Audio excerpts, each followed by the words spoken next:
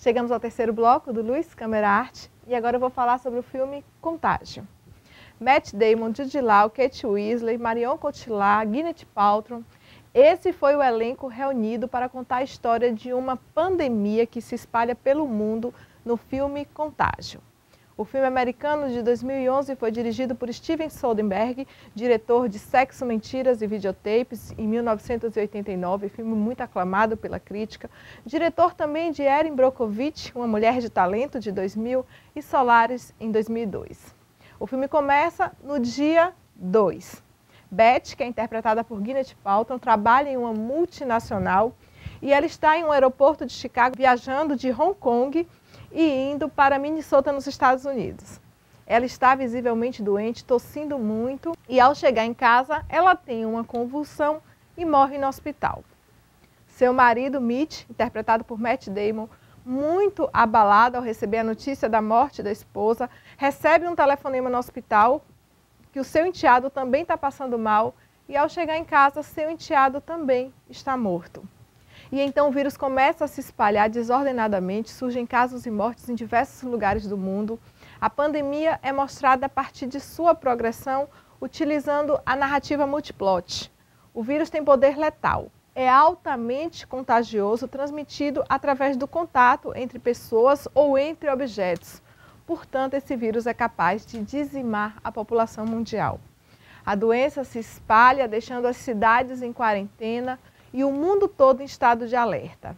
A situação da população civil é transmitida para a gente através de Mitch, que parece ser imune ao vírus, né, já que ele perdeu a esposa e o enteado.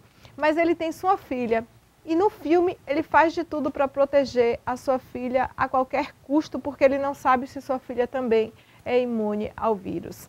Através dele, nós vemos supermercados sendo saqueados, a população sem alimento, pessoas se agredindo nas ruas.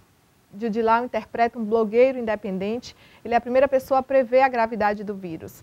É a voz que faz contraponto à voz oficial e no começo do filme nós não sabemos quais as reais intenções desse personagem, se ele é um herói tentando alertar as pessoas ou se um aproveitador tentando se dar bem. Na comunidade científica, nós temos Erin Mears, que é interpretada por Kate Weasley, uma pesquisadora que é enviada para Minneapolis para investigar o avanço da doença e acaba doente.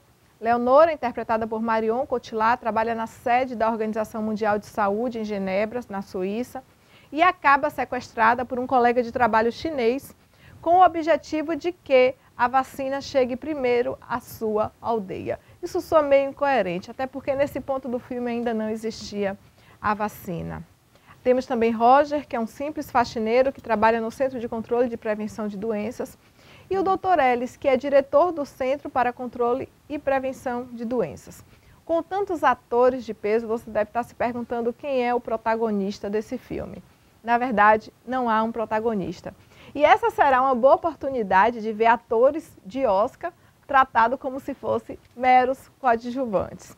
Isso acontece com Marion Cotillard, cuja atuação parece ser desnecessária ao filme, né? Sua personagem não tem muito, não tem grande importância.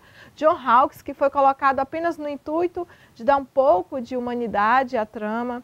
Gwyneth Paltrow é praticamente uma figurante, gente. Kate Weasley recebe um pouco mais de destaque, mas quem pega uma pontinha maior do filme é o Dr. Ellis e suas tentativas de conter o vírus. Gosto de filmes apocalípticos sobre epidemias, pandemias, né, sobre vírus mortais que podem dizimar quase toda a população.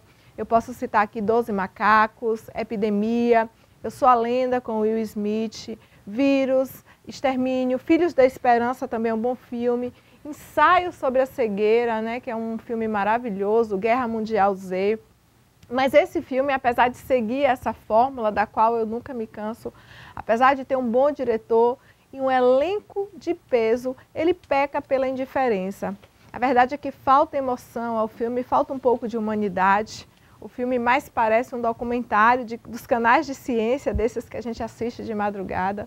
Diversos pontos poderiam ter sido explorados com profundidade: o comportamento da população diante da ameaça mortal, a sensação de impotência da equipe científica, né? um possível dilema de quem tinha uma informação privilegiada e usar antes essas informações.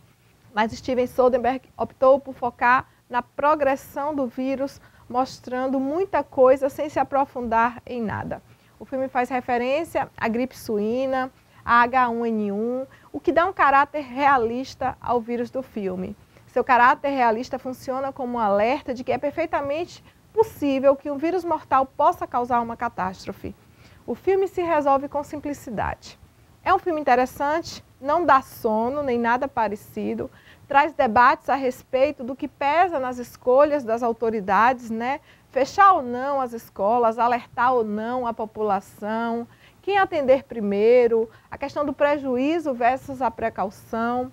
O maior mérito desse filme, de todos os outros da sua categoria, é desconstruir essa sensação de onipotência da pós-modernidade, onde o homem, com o desenvolvimento da tecnologia, sente-se no domínio do mundo, de todas as outras espécies e da natureza, como se nada pudesse lhe arrancar tal poder.